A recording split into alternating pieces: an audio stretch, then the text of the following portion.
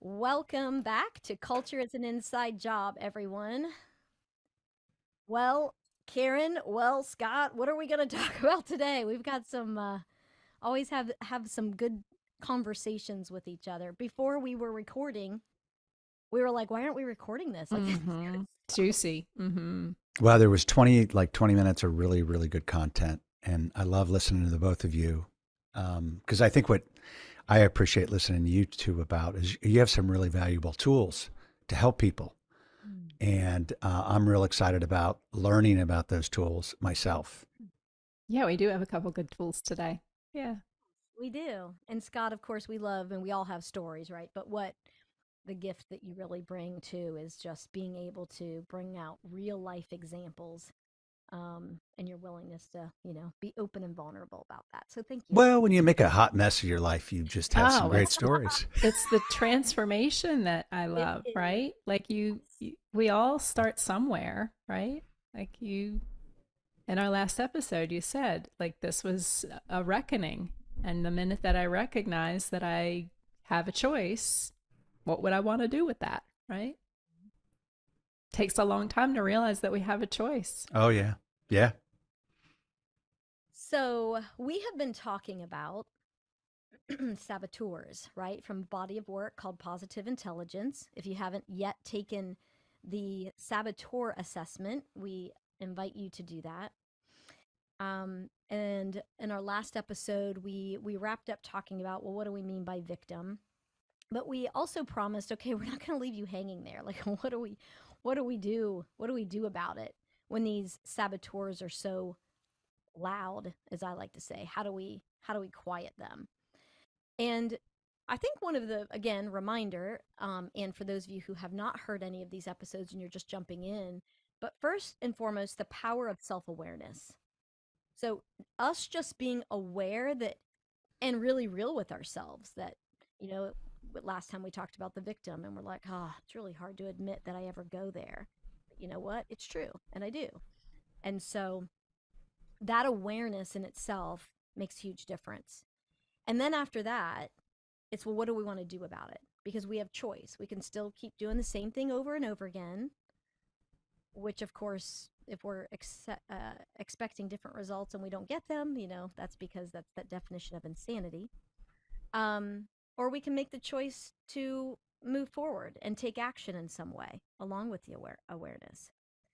And so there's a perspective that uh, Shirzad Chamine talks about in his book, The po- uh, Positive Intelligence, and that work, and it's called the Sage Perspective.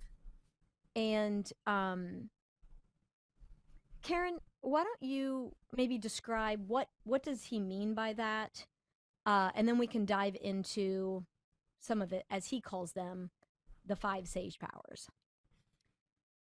So, our sage, or our essence, our truth with a capital T, our soul, you know, there's just different, you know, synonymous words that we can use to represent that deepest part of us that comes from a place of inner knowing with a capital K.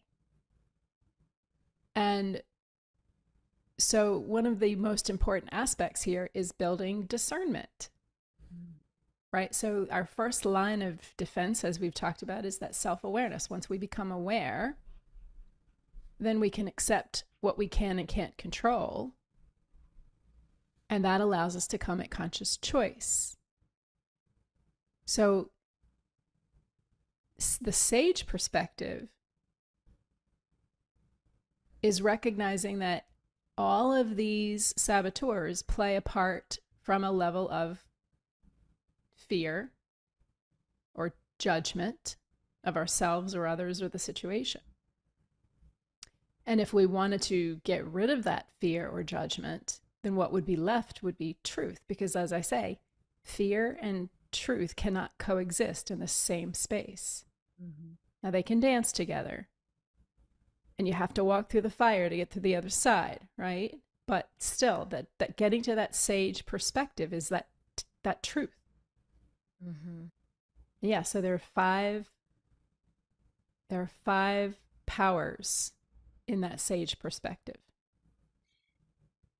Karen, one thing that just came up for me, and I just, I wonder if it might help our listeners to like have a better understanding too. You did a beautiful job of describing it, but remember the Chinese parable that they talk about? Um, The about stallion story? story? Yeah. Share Yeah. that. You you share that better than I do.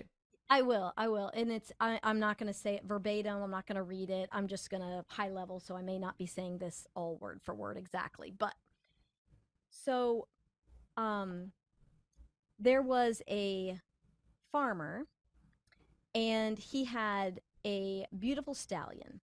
And the stallion won uh, an award at like the fair or something because, you know, it was just, such an amazing stallion. And the neighbors came up to the farmer and they said, they were congratulating him. Oh my gosh, that's amazing. Congratulations. And the farmer said, Who knows what is good and what is bad? And the next day, the uh, stallion got out of, you know, his fenced in area, what have you, got out. And the neighbors were like, Oh my gosh, I'm so sorry. That's terrible. And the farmer said, Who knows what is good and what is bad? And then the next day, the stallion comes back with a young a young horse with it. And um and so now he had another horse. And so of course the neighbors were congratulating him again and he's like who knows what is good and what is bad. And so then his son decided I'm going to break this horse. So his son gets on on the horse and he's on the horse and all of a sudden he gets thrown off and he breaks his breaks his arm. And again the neighbors are like, "Oh my gosh, that's terrible." And the farmer's like, who knows what is good and what is bad? And finally, the Imperial Army comes in and they're taking all the young men to go off to war. And they were going to take his son, but his son had broken his arm. And so he didn't have to go. And so at that point, the neighbors stopped asking the, or congratulating or, or what have you because they knew what his response was going to be. But back to what Karen was saying, it's like we judge situations and ourselves and other people, you know, so much.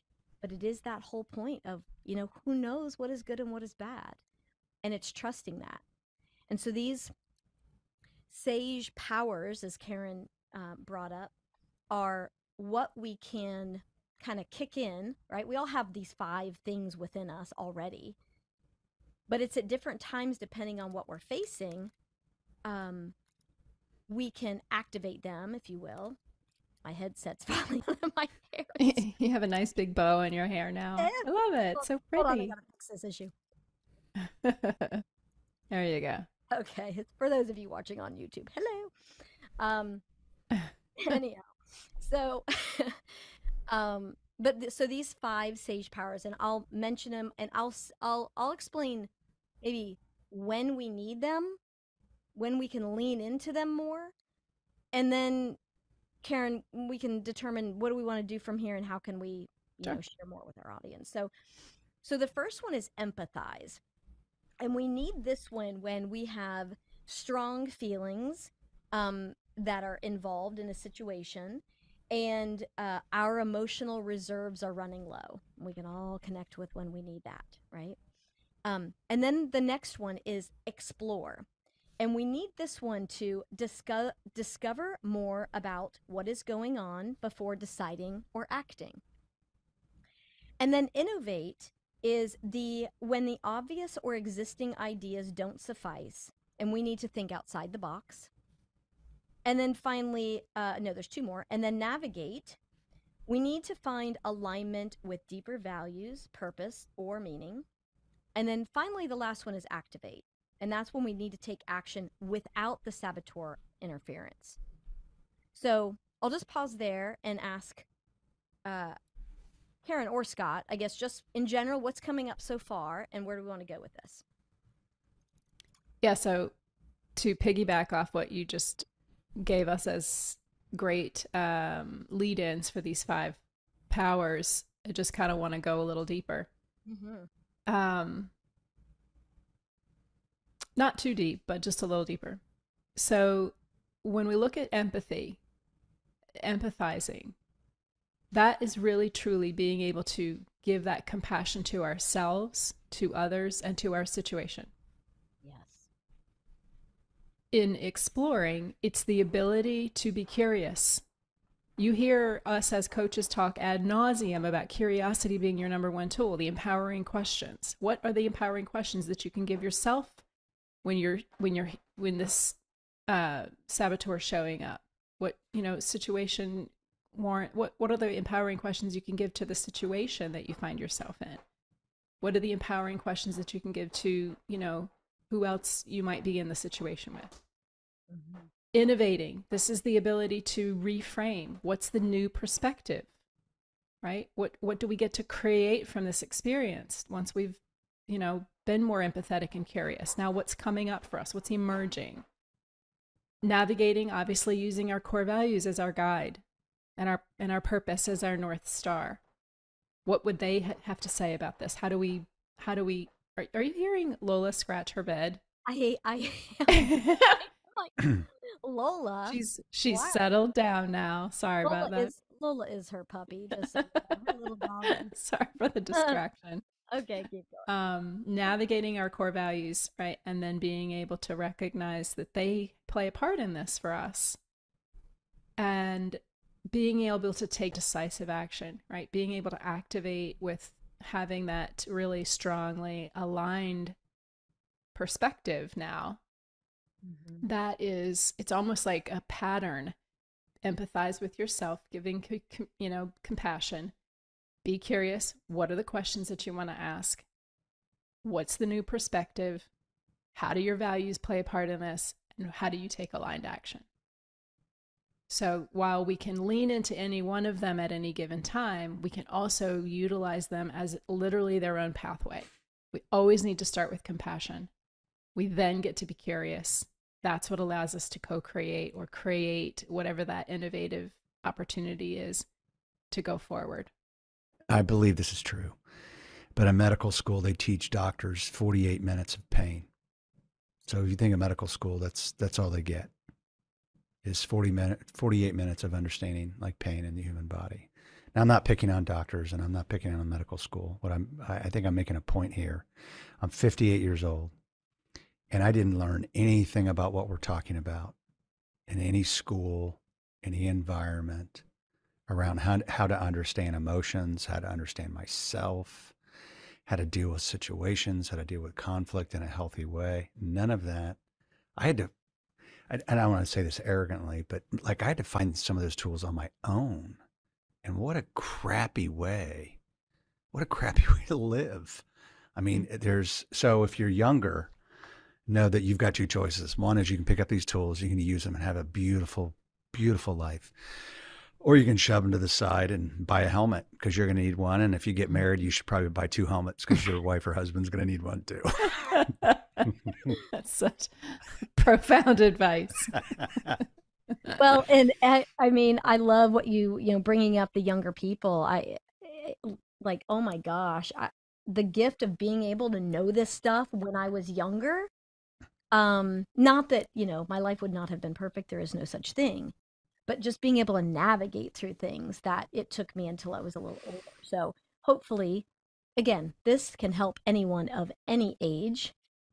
Um, and yeah, and I'm excited to dive into how do we kind of put these into action a little bit more and quiet some of those pesky saboteurs mm-hmm. that show up for us. Um, so maybe uh, do we want to share uh, some of what he calls the power games? Um, Go for it. put that into action. Okay, so when we talk about empathy, the the first one that he does that he the first power game that he talks about is um, visualize the child. And so one thing I want to say as I talk about this, and I take this very seriously, there are people who are either on this call or uh or list our listeners who have been through a traumatic experience um when they were a child. And so no matter whether you have or haven't, it's like take care of yourself if you choose to do this this exercise because it does take thinking back and seeing yourself and visualizing yourself as a child. Now, what he wants us to do, what he invites us to do, is visualize ourselves when we're at that age it's like pure essence right and we can just we can just visualize the light when we were that age as a child and and what and when we do that we can use this for again two things and karen said earlier right it's empathizing first and foremost with ourselves because most of us are honestly probably better at empathizing with others than we are ourselves. We don't give ourselves enough grace. And so in this visualizing a child and i actually have a physical picture of me when i was two or three years old sitting in a little rocking chair pretending to read a book i'm sure because i don't think i could read that a young. Um but it was that it reminds me of that little girl is still within me right? That creativity is still there. That joy is still there. That fun is still there. And so when i can do that i can give myself more grace. I can step back and i can remi- remind myself that she didn't go away. I mean i got a little bit taller not much i'm only five one but but that little girl is still within me and so it does help me to empathize with myself more. The other thing that we can use this power game as he calls it for is with another person. So most of us have already either personally or professionally been in a situation where we have somebody in our life um, who is we find difficult to communicate with or to work with or whatever it might be. All And of the above. Yeah, right, exactly. and all of the above. And when we can step back and we can literally, and I have used this tool, by the way, in my professional life, but when we can step back and when we can look at that person and see them as their inner child and remember that what's showing up for them is not yes there are some people right that maybe maybe they just want to be a jerk but i completely believe that most people want to be good. Most people are good. When we see those icky things coming out or when we're having a difficulty you know we could also possibly be judging making assumptions but we're able to look at that person as okay this isn't what's coming out right now or what i'm feeling isn't who they are at their core. It's it's that it's the stuff like that maybe they haven't dealt with but that little girl or that little boy is still inside of them. And when i can look at them as a child oh my gosh it just shifts the way that i'm able to see them to communicate with them to love them. And so so that's that's what, what we talk about that's what we're talking about when we say the power game of visualizing the child scott and karen what comes up for you around that one I just want to add the when we look at empathy, and Brene Brown has a wonderful video that you can uh, check out on empathy versus sympathy. But the point here is that it's the uncon- unconditional love, right? It's when we are empathizing, we are not needing anything back it's just our ability to really fully understand and embrace what that experience is for someone else. mm-hmm.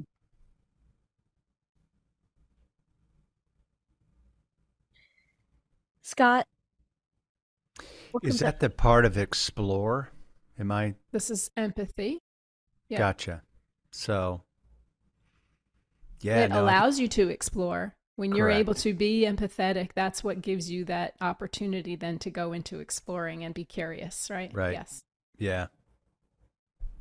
No, I think it's a really cool exercise. I mean, we just get so caught up in the moment.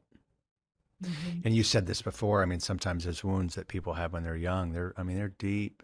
mhm. And a lot of the time they're buried so deep. but like we talked on the last episode too, is that sometimes those actions like protected those little kids. And so they're just pulling out the tool that they had when they were four or five, protect maybe, you know, things that other people did to them. And uh, when you can look at them differently, that is, well, like you say, that's empathetic. That's humanity at its finest hour. Yeah. And and that's that's why you know, yes, this work can be so helpful and is so helpful in coaching and so forth. There's, you know, there's a real space for therapy, right? Mhm. And if there are those deep wounds, like reaching back and getting help in that way in order to be able to even get to this point, because some there are some people who aren't even ready to do this piece, and that's okay. Um, okay, so that is empathize. Explore. Karen, do you want to talk about the the power game of fascinated anthropologist? So, sure. Um, being able to observe what is. This goes back to, you know, seeing that discernment, right? Not trying, recognizing that we all come through the lens of judging. And you just said the word humanity at its best, right? This is it. This is it. Being that anthropologist is be- being able to recognize everything, discovering what without any filter No what's the truth right no judgment and so exploring is that space of curiosity so what's the different perspective? What does this show me? What did i not know? What do i get to see differently? What um what where is this coming from? I look I sometimes will help clients by using the visual of a triangle with my hands. And then this is, you know, we have our head and we have our heart and we have our gut and how we think and how we feel and how we act. And when they're when we can leverage the strength of all of them, then we can move perpetually forward like more of a circle rather than just being a stuck triangle with maybe lopsided sides. So, one of the things we had talked about before was oftentimes when we're very heady, we think, we're analyzing, we're we're constantly uh, trying to leverage the strength of our brain because that's how we know. But if we were to drop down into our heart and think, well, what what didn't I know about this? Again, staying very curious, exploring what does my heart have to say about this? What is that what is my body sensing right now? So having all of that data is really important. Mm-hmm. Wendy, this goes back to space and grace, right? The ability to give yourself the space, not just physical space, but the mental space, mm-hmm. to then give yourself that compassion and be curious to see what what don't I know yet? What do I need to know? What's emerging that is truth? And what does that inform me of for going forward? That's right. And we're able to, when we're able to do that for ourselves, first and foremost, then we're able to do that for and with other people as well. Yeah. What's the empowering question, Mhm. right? Scott, anything come up for you on this one? no, I was with Annie Lehman the other day, and he said, "Here's the problem with stupid people: is they drag you down to their level and then beat you up with experience." so I'm listening to the two of you, and just you're you just you just have a lot of knowledge and a lot of tools. So I am just I am going to listen. And and you have so much knowledge that we don't have. Yeah. So So let's just be real. Well, thank you, Scott. it's good stuff. Um, and then Scott, I think what I'd like to do after Karen and I just describe these next few, at the end of that, maybe you thinking about how do you envision from a a leader perspective, um, a company perspective, right? Being able, what what's the impact of activating these and stepping into these sage powers? So maybe thinking about that. So the next one is innovate. And again, this is when we need to think of a new way to approach a situation. Um, and so all, most of us, if not all of us, right, can get stuck in the, well, that's the way that we used to do it, or that's a dumb idea. And again, let's think about ourselves first, not just with other people. Even when we're coming up with our own ideas, we're doing this to ourselves. And so there's a power game that he calls the yes and. And in this, and many of you may have heard of this in different renditions, but in this one, and let's just start thinking about like if we have ideas on our own and we're having this conversation with ourselves.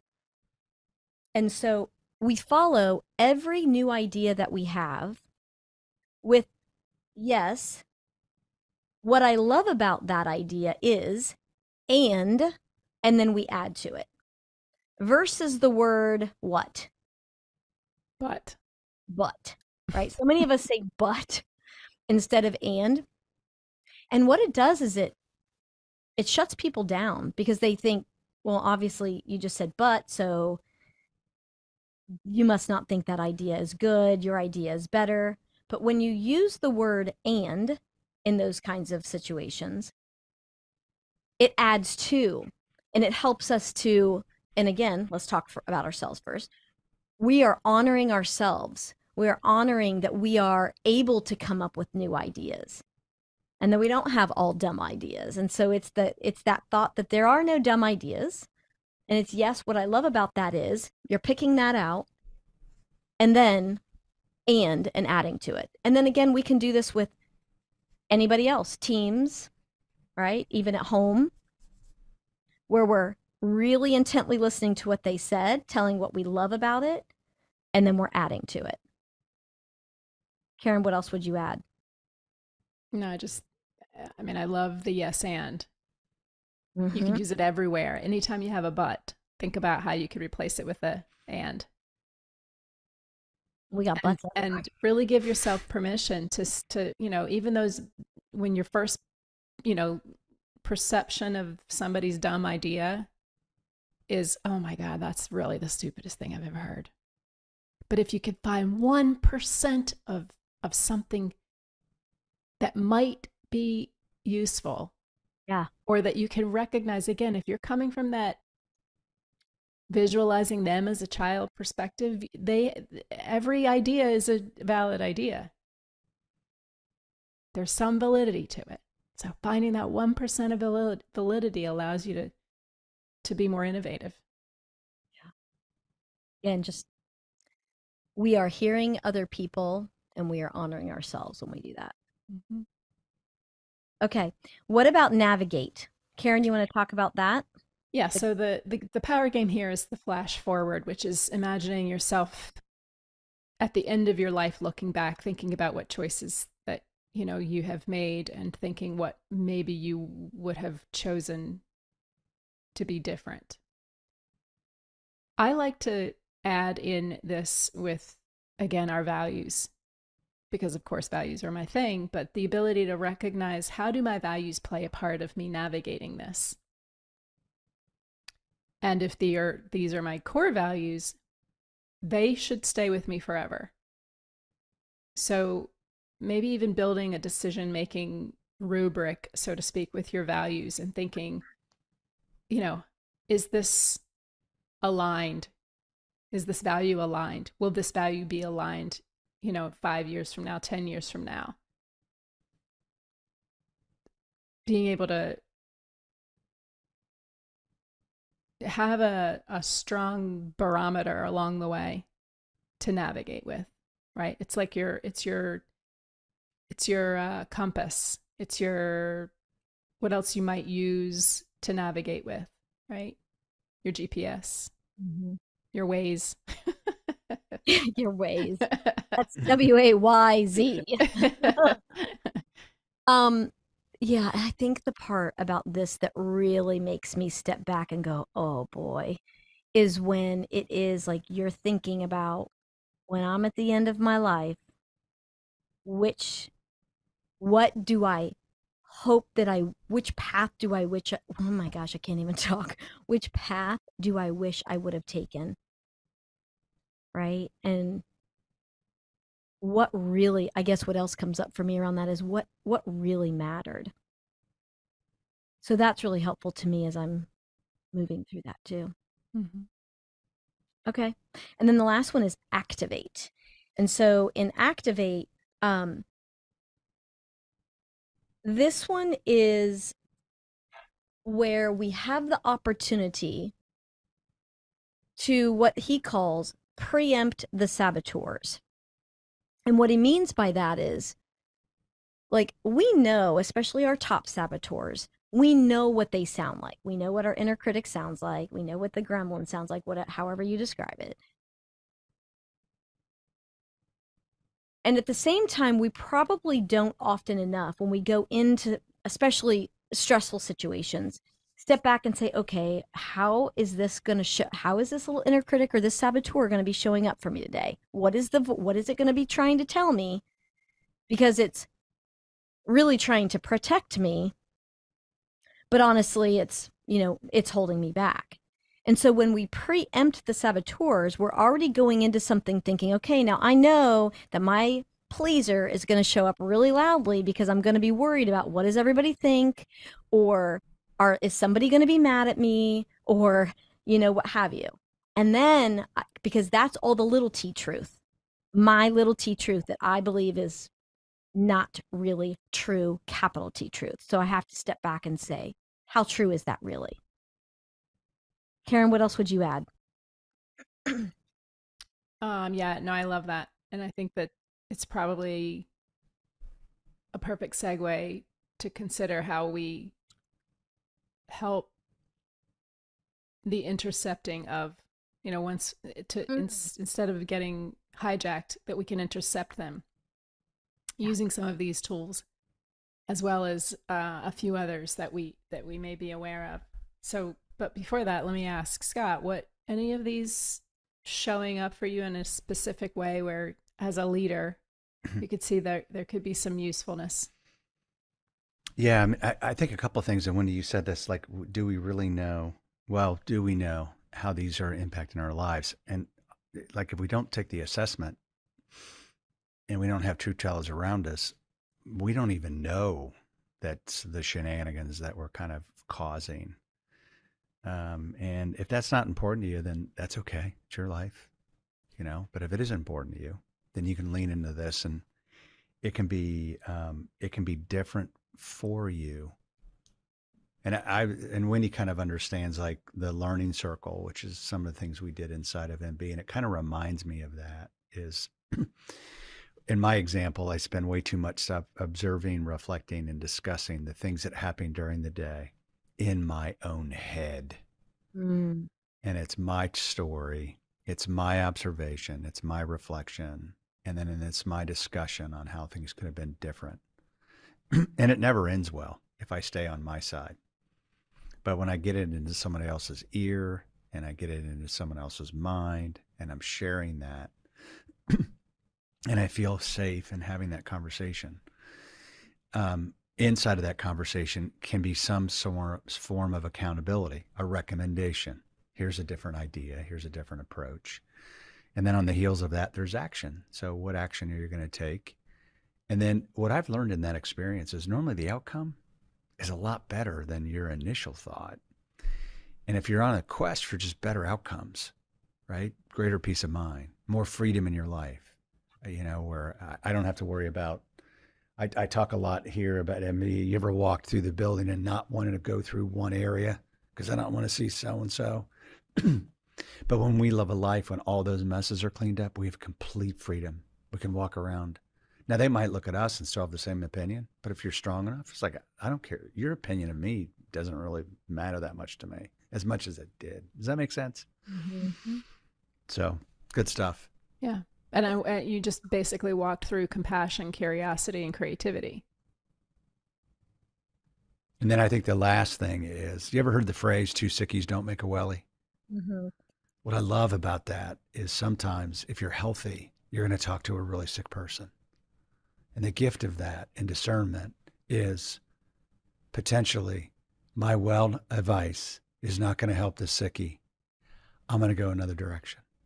And it's that discernment. Or I can be helpful or I can be useful. The beautiful thing about it is now you get to pick and choose who you're going to help. And you get to pull away from who you're not going to help. And that is that's going to save, in my opinion, people lots of time.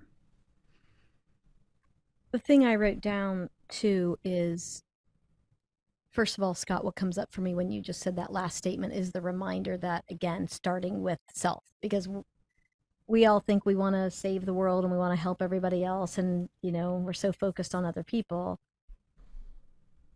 And if we don't start with us again, right, the rest, the rest won't come. We won't be able to show up with our, as our best self and make the biggest impact. The thing that I wrote down too as a reminder is we all have these sage powers. We have you heard them like they're they're normal everyday things. We just don't allow ourselves to I'll just use the word unleash them enough. And so this just gives you the opportunity on how to go about doing that. Um but yeah, Karen, jump into some of the things that we can do. We were talking about this before we hopped on. Again, Karen and I went through this program and it was really helpful, I think, for both of us. And it's probably a great reminder for us that, oh, yeah, we do have this tool we can keep mm-hmm. coming back to. But dive into some of those physical aspects, right? Whole mm-hmm. body aspects that helps us. Yeah. So for our fellow coaches out there that have gone through this and remember, we called it the PQ gym. And so we would go in and do our little exercises regularly just to build our muscles um, and a couple of different uh, exercises basically are when you start to recognize that you have a saboteur, and if it's maybe even preempting the saboteur, but even if it's that you start to feel as you might recognize it in your body, whether it's in your heart or you know your your throat might start closing up or maybe your your gut starts to feel a little like queasy or butterflies. Or maybe you've got a brain twitch twitch something's happening when you're recognizing that you're uncomfortable. The ick has started to set in. Um one thing for us to kind of come back to center so that we are not getting full on hijacked is to find a way to intercept this saboteur these saboteurs so if you could just put your fingers together and feel your fingerprints and just rub your rub your fingers together. This kind of brings you back to the present moment. Take your one hand and and rub on the other palm and just feel the different the way that your your the lines in your hand move.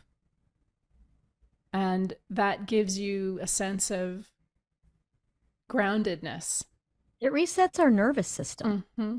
Yep. It really does. Mm-hmm. I mean, I'm not even in a stressed state, and doing this now kind of eases it. A, a, there's like a no more anxiety in the belly kind of feeling, right? Uh, another option would be to take a visual approach, and that would be to look out to the furthest thing that you could possibly see and just reflect, observe. Hmm, what is that? And then come back and think, what is the closest thing that I can see as my eyes cross when I look at my microphone in my mouth?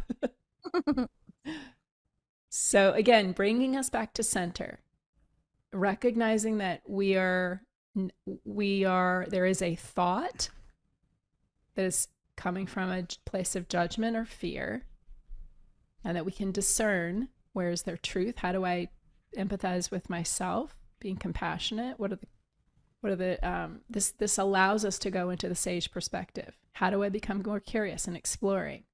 It's a new way to look at this. Where are my core values in all of this? How do i take aligned action? Um and one of the other ways is from an audio perspective to listen and think what can i hear is the furthest thing away? And spend a few few seconds there and then what's the closest thing that I can hear? So again, this is that intercepting where I'm not getting, I'm not having to go into that thought and become attached to the story that ruminates now and it and it becomes the truth and now it's the bigger than you know bigger than me story and so now i'm going to start you know acting based on that story. And now everything falls apart because I'm all caught up in my story. Now, when we can take a deep breath and we can utilize some of these PQ reps, we do not need to be hijacked.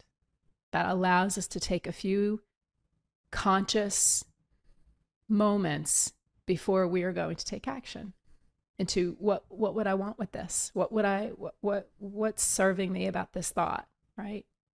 Karen, I I want to come back to that because that's I think such an important critical piece of what we're talking about is our thoughts. So whenever and and we'll leave it with this um, and then kind of jump into just see how Scott wants to wrap up, but um whenever our saboteurs are showing up very loudly, it's remembering that they are starting because of those thoughts. And so it's coming back and asking ourselves, what am I thinking right now? And then, therefore, what's another way to think about it? What's another perspective? Which will quiet the saboteurs, which of course then shifts our emotions, which shifts our actions and our results. So, thank you for that reminder. That's really important.